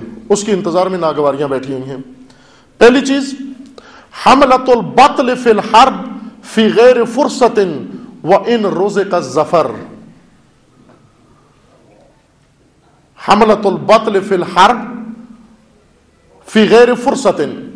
वो पहलवान, जंगजू, दलेर शुजा इंसान, बतल चैंपियन को कहते हैं, जो बहुत कहरमान हो, मामूली जंगजू ना। बतल आजकल जिसको हम कहते हैं ना, खेलों में चैंपियन, अरब उसको कहते हैं ये, बतल है। बतल रियाजा, सपोर्ट की दुनिया का कहरमान, चैंपियन। वो बड़ा कहरमान, बड़ा इंसान, बड़ा दलेर, बड़ा शुजा इंसान, जो जंगजू हो ये फुर्सत के बगैर, फुर्सत से हटकर, यानी वो मौजू वक्त जो हमले का होता है, उस वक्त पे हमला ना करें और उससे हटकर, उस फुर्सत के लम्हे से बाहर अगर ये चैंपियन, ये कहरमान, ये जंगजू हमला करे, ये हमला नागवारियों का बायस बनेगा उसके लिए।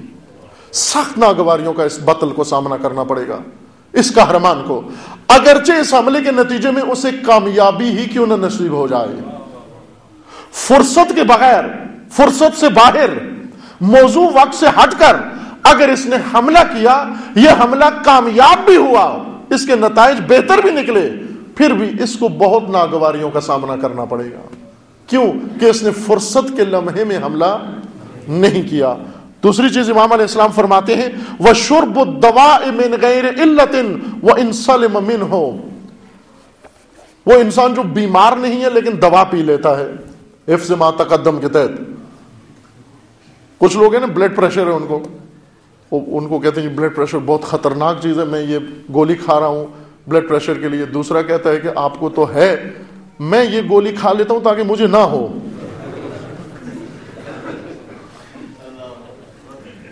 एक को शुगर है वो शुगर की दवा खा, खाता है इंसुलिन लगाता है। दूसरा कहता है कि मैं भी हिफ्ज मा तकदम के तहत लगा लेता हूँ ताकि मुझे ना हो। इमाम अलैहिस्सलाम फरमाते हैं कि इस इस दवा से जो भी जो मरीज़ नहीं है और उस दवा को इस्तेमाल करता है इस दवा से उसको शदीद नागवारी का सामना करना पड़ेगा जो बगैर बीमारी के खाई गई है। यह दवा जानलेवा होगी उसके लिए। यह दवा दवा नहीं, ये बीमारी से बढ़कर तकलीफ़ देगी उसको। ये तकलीफ़ दे दवा है। हर दवा दवा तकलीफ़ खत्म करने के लिए है। तकलीफ़ बर है, तकलीफ़ खत्म करती है। वो दवा जो बगैर बीमारी के खाई जाए, वो तकलीफ़ का बायस बनती है।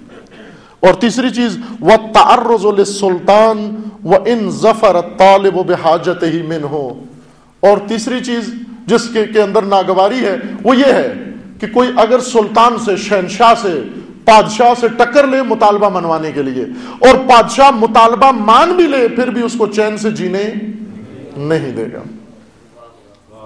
उसको चैन से जीने नहीं देगा। कहते हैं, इबन सीना या जकरिया राज़ी, मोहम्मद इबन जकरिया राज़ी का ज़ाहिर ये वाक़ है कि उनके ज़माने में पादशाह था सामानी, वो बीमार हुआ, एक अजीब गरीब बीमारी में मफलूज हो गया, उसके हाथ पाँव फलज हो गया उसको। तमाम तबीबों ने इलाज किया, कोई कारगर नहीं हुआ। आखिरकार उन्होंने इस तबीब को बुलाया, मोहम्मद इबन जकरिया राज़ी को, कि इलाज करें आकर पादशाह का। उन्होंने कहा कि मैं इलाज करता हूँ पादशाह का, लेकिन कुछ मेरी शराइत हैं। शराइत क्या है? उन्होंने कहा कि शराइत मेरी ये है कि मैं समुद्री रास्ते से आया हूँ, एक कश्ती तैयार करके साहिल पे मल्लाह के साथ, नाखुदा के साथ तैयार रखी जाए। और एक ये है कि शर्त मेरी कि जब मैं इलाज करूँ तो इलाज बादशाह का हमाम में करूँगा। और हमाम जब मैं इलाज करूँ तो हमाम का दरवाज़ा सील हो, ताला लगा हुआ हो, और मेरे जाने के बाद उसमें 24 घंटों तक कोई आए जाए नहीं, किसी का आना जाना ना हो। समझ नहीं आई, उन्होंने कहा कि डॉक्टर और इस तरह की शराय के ये मैं कश्ती खड़ी करो और फिर हमाम को सील करो तुम और कोई आना जाना ना हो, और मेरे जाने के बाद 24 घंटे तक हमाम में कोई ना जाए बाहर के उन्होंने इलाज तो कराना था। कहा, ठीक है, आप आइए, इलाज करिए। तबीब साहब आए, उन्होंने आकर इलाज किया। इलाज फालिज का इलाज न, आप ना करिएगा ऐसा, सिर्फ़ सुनिए इस बात से। घर में जाकर तकरार नहीं करना।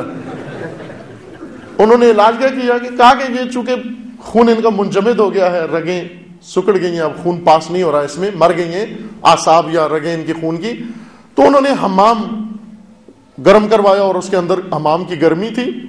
और इधर से जाकर उस बादशाह को उन्होंने बिठाकर इलाज कर रहे हैं। तभी उसको बुरा भला कहना शुरू कर दिया कि तू नकम्मा बादशाह, तू फलाम बादशाह, तू इस किस्म का।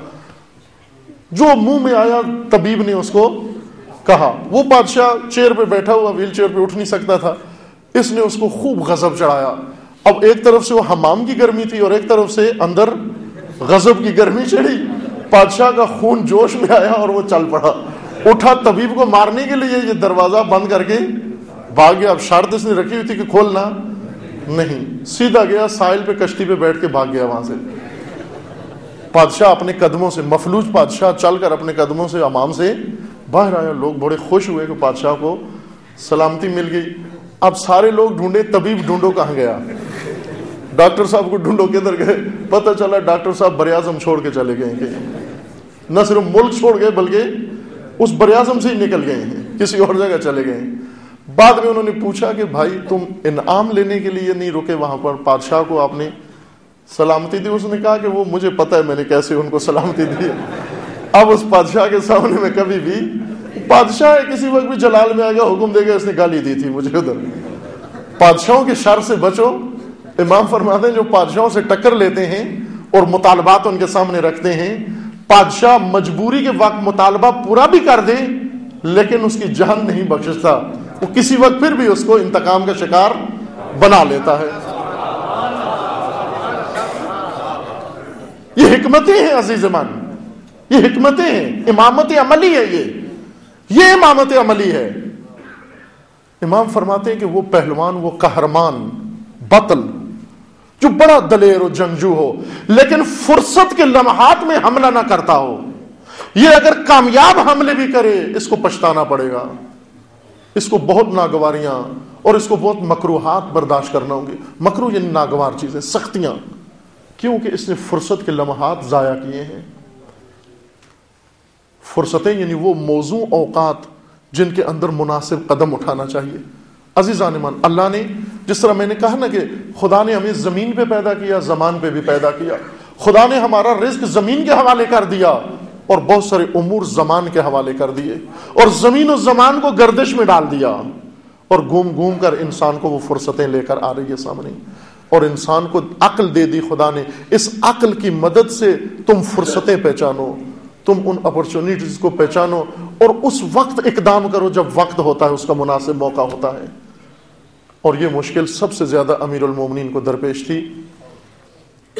खुतबे नजुबलागा में एक मौजू है, बहुत ही दर्दनाक मौजू, और वो अली की आहें हैं, मजलूमाना आहें, बहुत आहें हैं।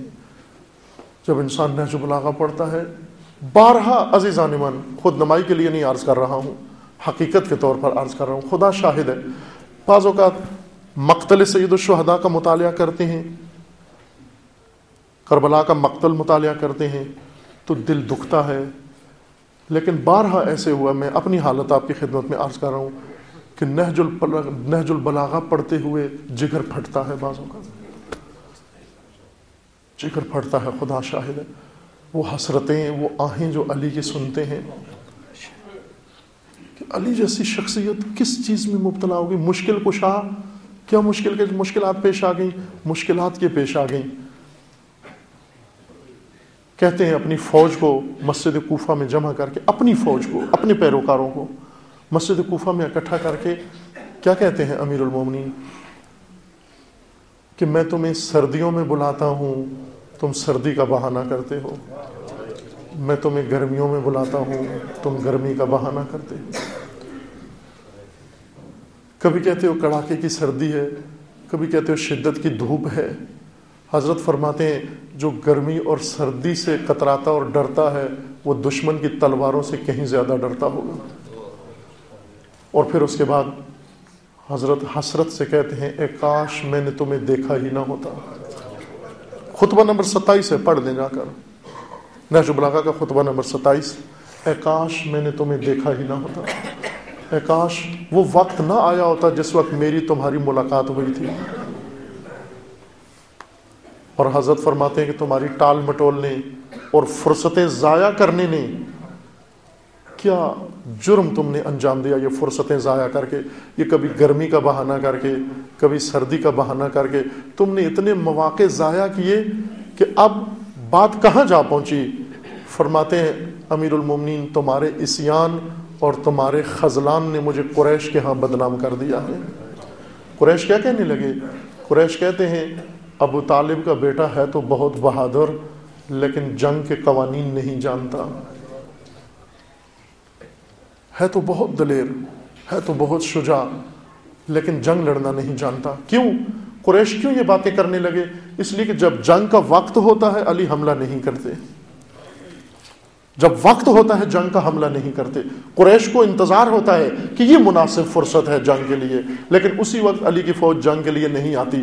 अली फरमाते ये क्यों बातें होने लगी? इसलिए कि मैं यहाँ तुम्हें उसी फुर्सत में जंग के लिए उठाता हूँ। तुम कभी गर्मी का बहाना करते हो, कभी सर्दी का बहाना करते हो। मैं ये कहूँगा, ए मजलूम अली, आप उस वक्त जिन लोगों से चाह रहे थे कि वो आपका साथ दें, उनके पास सिर्फ़ दो बहाने थे, या गर्मी का बहाना था और या सर्दी का बहाना था। लेकिन आज लोगों के पास हज़ार बहाने आ गए हैं, कहीं मुलाजमतों का बहाना है कहीं मसरूफियतों का बहाना है, कहीं घरों का बहाना है, कहीं सफ़र का बहाना है, कहीं तालीम का बहाना है, कहीं जॉब का बहाना है, कहीं घरेलू मसरूफियात का बहाना है। आज हज़ारों बहाने मौजूद हैं आपके पैरोकारों के पास। तो अली, खुदा न खास्ता यही जुमला आज फिर दोहरा दें कि काश, उनसे तो मेरी मुलाकात हो गई। ए काश कभी ना होती। और ये ना हो जाए, अज़ीज़ जमान कि अली मुझको कह दें ए काश तुझसे मेरी मुलाकात सिरे से हो ही ना बेहतर। तू जो हज़ार बहाने लेके अली के सामने खड़ा है, तू जो फुर्सतें ज़ाया करता है, जो फुर्सतें ज़ाया करते हैं, अपने रहबर पेशवा की बदनामी का बायस बन जाते हैं। उनके जवाब में हज़रत ने फरमाया, खुदा भला करे इनका, इन्हें मालूम है, लिल्लाह अबू हम भला हो इनका। इन्हें मालूम है कि मैं 20 साल से कम उम्र का था, मैदान जंग में मैंने कदम रखा। और आज मैं 60 साल के करीब हो चुका हूँ और इस दौरान मैंने शमशीर का कब्जा शमशीर से हाथ नहीं छोड़ा।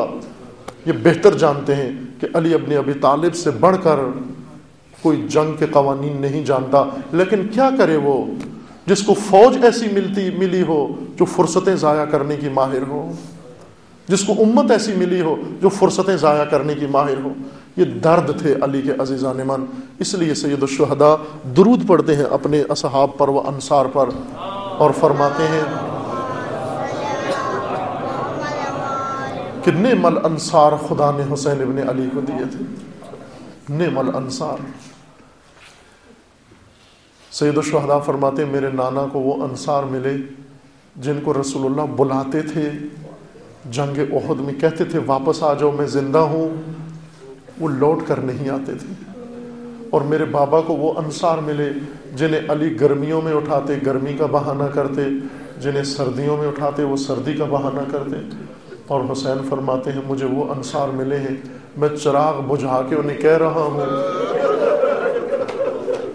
चले जाओ यहाँ से। मैंने अपना हक बैत तुमसे उठा लिया है।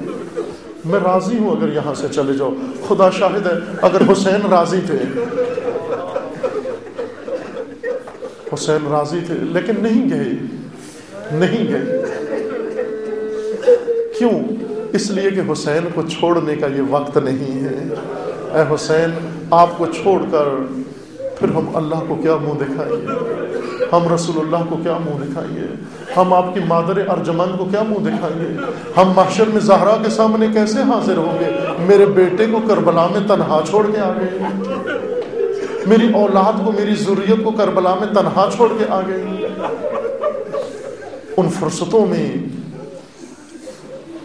उन असहाब ने हुसैन इबन अली का साथ दिया। अजीजान, उन फुर्सत शनासों में जो जिसने फुर्सतों से खूब फ़ायदा उठाया सबसे ज़्यादा बसीरत फुर्सत से फ़ायदा उठाई, जनाब सैदा ने दिखाई, जनाब फातिमा ने दिखाई। आपको मालूम है, जब रसूलुल्लाह की रहलत के बाद उम्मत ने और रुख इख्तियार कर लिया, उम्मत ने और रुख इख्तियार कर लिया, और एक हक था माली, जनाब फातिमा का फदक ले लिया गया बीबी ने उसी को फुर्सत समझा, मुनासिब फुर्सत समझा और उसी वक्त कयाम किया और मैदान में उतर कर आ गई बीबी और आकर खुतबा दिया। लेकिन खुतबा इस आलम में दिया कि जहरा के सर पे चादर भी मौजूद थी। जहरा के हाथ भी खुले हुए थे।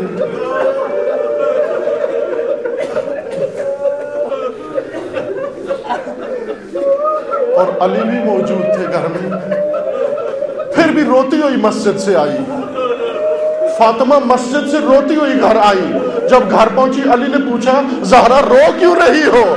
कहा, अली, मालूम नहीं, मस्जिद में मेरे साथ क्या सलूक हुआ? अली जानते नहीं, मस्जिद में मेरे साथ क्या सलूक हुआ? जहरा क्या किया? कहा, मैंने जब उनसे कहा था, ये मेरे बाबा ने ये हक मुझे दिया, ये मेरा हक है। मुझे कहते जहरा, गवाह लेकर आ जाओ। बाबा, अली मुझसे गवाह मांग रहे हैं। जहरा रो रही है। रोती हुई आई। मैं कहूँगा, जहरा, आज जरा बाज़ार कूफा में आ जाए। सानिय जहरा को देखे। सानिय जहरा सानिय जहरा खुतबा दे रही है। लेकिन मस्जिद नबी नहीं है, सर पे चादर भी नहीं है, और हाथ पसे गर्दन बंधे हुए हैं। और बाज़ार है, और बाज़ार है, तमाशाई है, छतों पे खड़े हैं, सब निगाहें डाल रहे हैं। मुनादी करा दी गई, बाकी का खानदान आ गया है। बाकी का खानदान देखने आ गए। वो जहरा का खुतबा था। वो चादर के अंदर था। फिर भी जहरा रोती हुई आई। फिर भी जहरा रोती हुई आई। लेकिन ये सानिय जहरा का खुतबा है। सानिय जहरा जब बाज़ार में पहुँचती है, वो दर्द जो सैयद सज्जाद के जिगर को खा गया। अजीजों, वो यही दर्द था। जब बाज़ार कोफा में पहुँचती है, लोगों को देखती है, सब देख रहे हैं। और बाजों ने पहचान लिया, ये आले रसूल आ गए, ये आले नबी आ गए, ये आले जहरा आ गए। जब उन्हें रोता देखा तो खुतबा दिया आवाज़ दिया अल्लाह, या अहलल कूफा, या अहलल गद्र वल माकर सुनो कूफियो, अली की बेटी का खुतबा सुनो, अली की बेटी की बात सुनो। बाज़ार में सन्नाटा छा गया, बाज़ार में सन्नाटा छा गया। अली की खुद अली की बेटी ने खुतबा शुरू किया। एक नाबीना खुतबा सुन रहा था। खुतबा सुनकर कहता है, दोस्तों, ताज्जुब की बात है। मेरे मौला को गुजरे बड़ा अरसा हो गया। ये खुतबे मेरे मौला के कौन दे रहा है? जब कहा गया नाबीना अली की बेटी खुतबा दे रही है, कहने लगा सुबहान अल्लाह मैंने तो समझा था, अली के बेटे हुक्मरान बनेंगे, हाकिम बनकर आएँगे। तो क्या अली के बेटे हुकूमत नहीं कर रहे? अली की बेटी को हुकूमत मिल गई। कहा, ना नाबीना अली की बेटी हाकिम बनकर नहीं आई, हसीर बनकर खुतबे दे रही। असीर बनकर खुतबे दे रही है।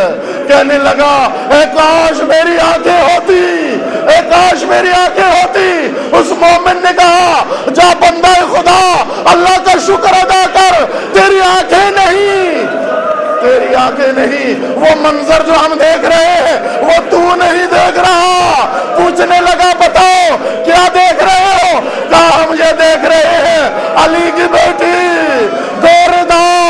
गोरदा सरबराना हाथ पसे गर्दन बंदे छोटे छोटे बच्चे सरों में खाक पड़ी।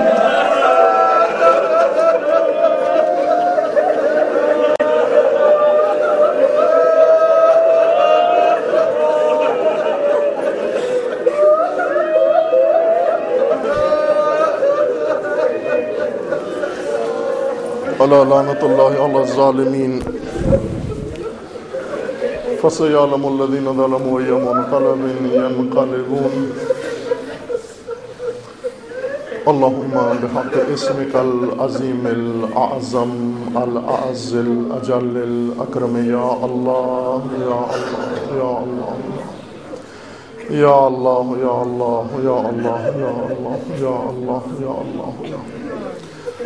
परवरदिगारा बेहक मोहम्मद वाल मोहम्मद हमारे इस कलील से ज़िक्र को अपनी बारगाह में कबूल फरमा।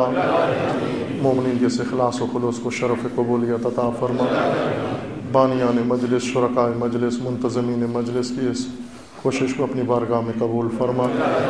जो मोमिन इस दुनिया से रेलत करके उन्हें जवार रहमत में मकाम नसीब फरमा। एक मोमिन बुजुर्गवार जिनकी अहलिया चंद रोज़ कबल इंतकाल कर गई हैं परवरदिगारा, जुमला मरहूमिन समेत उस मरहूमा को आयम अतहार के साथ माशूर फरमा। उनके गुनाह सगीरा व कबीरा को मुआफ़ फरमा। जो मरीज़ हैं, उन्हें शफा कामिला नसीब फरमा। जो मुलतमे से दुआ उनकी दुआओं को मुस्तजाब फरमा।